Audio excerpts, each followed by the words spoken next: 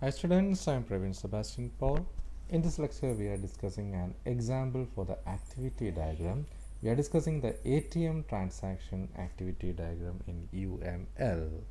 So my dear students, an activity diagram is discussed detailed in the previous lecture. Simply an activity diagram represents a series of actions or flow of controls in a system and the activity diagrams are often used in business process modeling. They can also describe the steps in a use case diagram. So dear students, the different symbols or notations in an activity diagrams are detailing here. The first notation is activity or action state. An action state represents the non-interruptible action of object. So we can represent an activity or an action state with a rectangle with a rounded corner. Next notation is the action flow. Action flow, also called edge or path, illustrate the transition from one action state to another. They are usually drawn with the help of a arrowed line. So our second notation is action flow, which is represented by a arrow line. Third one is initial or the starting state or starting point. A small filled circle or a complete filled circle followed by an arrow represents the initial state or the starting point of an activity diagram. So my dear students, let us consider our ATM transaction example. So we are starting from a starting state. So next we are moving to an activity or action called insert card. For every ATM transaction, the first process for initiating an ATM transaction is inserting an ATM card into a ATM machine. So we are inserting the card. This activity is the first activity. So the activity insert card is followed by read the card. So the action insert card is performed by a customer or a, a particular person and the reading card scenario is performed by an ATM machine. So there are two activities insert card and reading card activity and there are different action flows. While reading a card this action flow next move to the next action known as request the pin. So the customer inserted a card the card is read by the ATM and the request pin is aroused by the ATM machine so the pin request is proceeded with the process pin activity. That is the customer had entered some pin numbers. Those pin will be processed by the ATM machine. So my students while accepting the process or for proceeding to the next step what we have to do is authorize the card. That is we have to read the particular data encoded in an ATM card and we have to verify whether the pin code entered by the customer is the right one. Both these activities are done by the ATM machine as well as the bank server. And the authorization process is the next activity in this system. So my dear students next come the term swim lanes. The swim lanes are group related activities or grouping up of activities into one or more columns.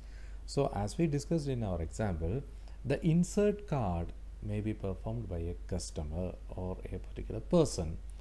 So the processes like card reading requesting pin processing pin cash counting cash dispatching all these activities are done by an atm machine and the authorization and the processing will be done by the bank server or the bank itself. So these are the three different actors or processes or different entities involved in these action scenarios. So the swim lines can be represented by dividing these activities or grouping these activities into these particular different entities. So the customer can insert a card. The insert card activity is enabled in the customer swim lane reading card requesting pin processing pin is encoded in the ATM machine process scenario and the authorization as well as the debiting or crediting activities are done in the banking swim line. So my students next arise the different notation known as decision or branching notation. When an activity requires a decision prior to moving on to the next activity add a diamond between these two activities the outgoing alternate should be labeled with a condition or guard expression.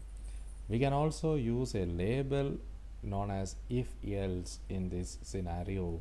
So the decision or branching or splitting up a process into two can be represented with the help of a decision symbol known as a diamond or a filled diamond. So when we come to our example, the bank authorizes the card there arises a question if the authorization is valid or the entered pin is valid we can move to the enter amount activity or move to the next step.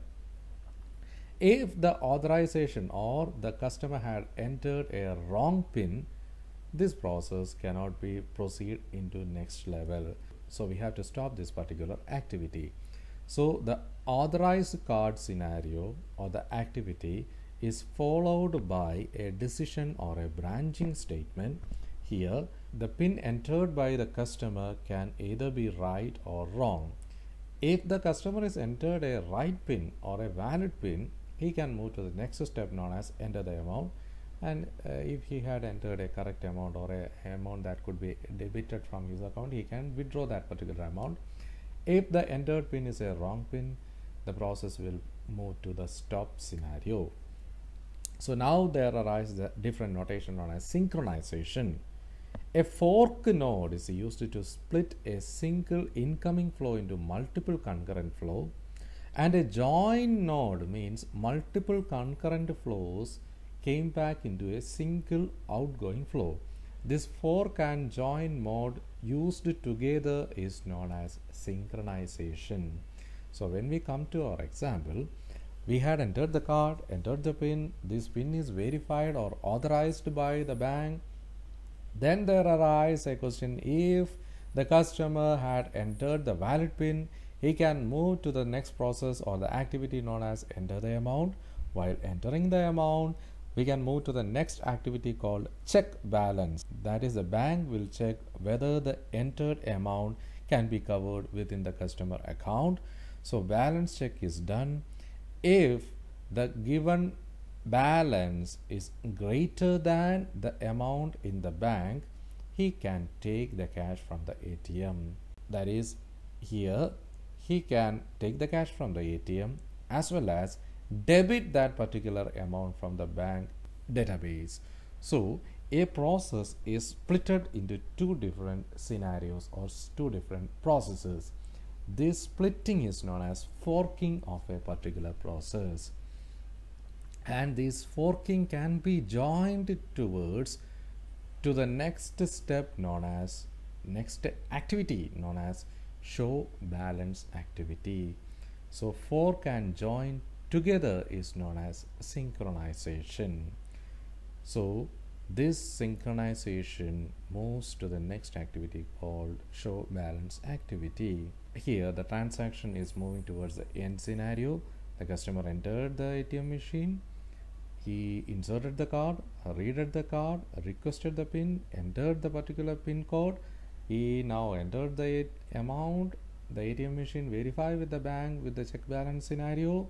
And he moves to the next activities like take the cash from the ATM debiting from the account showing the balance and finally the ATM machine will eject the particular card and the customer can remove the card and then there arises the notation as merge of event. The merging of event brings together multiple flow that are not concurrent. So this merging can be done with the check balance as well as the show balance scenario also. So this different level merging or different level combining is known as merging and the same level combining or the combining of actions in the same level is known as joining. And finally we are moving to the time event notation. That is this notation refers to an event that stop the flow for a particular time and it is represented by a hourglass symbol.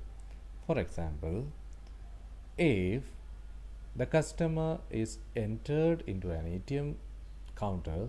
He inserted the card and while reading these data by the ATM machine, the customer has to wait for a particular time until the machine is available or until the machine is responding to that particular action so this response to an action can be represented by a time sequence notation so my dear students now we are moving to the final state a final state is the last state so this final state is an arrow pointing to a filled circle nested inside another circle represents the final last state of the action. So after removing the card, the customer can leave the ATM machine or the ATM counter or the ATM process. So this is how we are representing the different actions in a ATM transaction. So my dear students, in this lecture we have discussed the activity diagram for the ATM transaction. An activity diagram represents a series of actions or flow of controls in a system and we have discussed an example relating with this activity diagram in this lecture. So my dear students, hope you had understood this topic. So my students, kindly go through this assignment question. Our question is, draw the UML activity diagram for the library management system.